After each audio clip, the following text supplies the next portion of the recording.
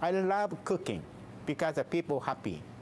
For 36 years, Tojo's has been a mainstay in the Vancouver food scene, beloved by critics, foodies, and a plethora of celebrities. All thanks to a Michelin star chef, Hidekazu Tojo, who helped bring sushi to the mainstream with the invention of the California roll.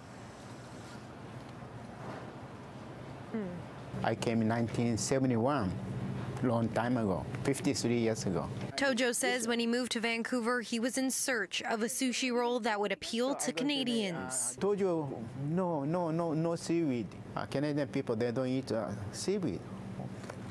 Maybe I make it inside out, slowly growing, growing. Then after maybe seven years later, everywhere. And that's how the California roll was born. But to Tojo, this iconic roll goes by a different name. I call inside out.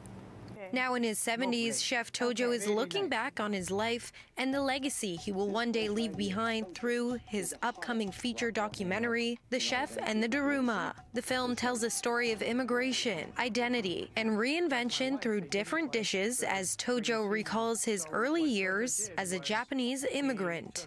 And now you're in your 70s. What's next? Are you going to continue to create and Yeah. make new things? Because he- people, until, you know, die, eat. Okay, now I'm going to learn how to make a traditional California roll. Chef, take it away. What do, Yeah. what do we do? So I, I show you ingredients. You know, mm-hmm. it's a local Dungeness Club leg. Yep. We use real club, no imitation. First, we started by wetting our hands, which Tojo says helps ensure the rice doesn't stick to your skin. Then we grabbed some sticky rice and placed it evenly on a sheet of seaweed. And as you can see, Chef was happy to lend a helping hand. maybe maybe half. Okay. then we flip. Please Oh. here.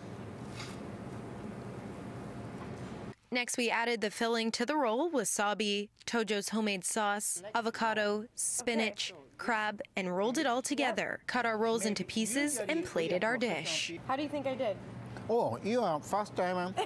Very good. The Chef and the Daruma premieres at the Vancouver International Film Festival on October 6th. In Vancouver, Lauren Stallone, City News.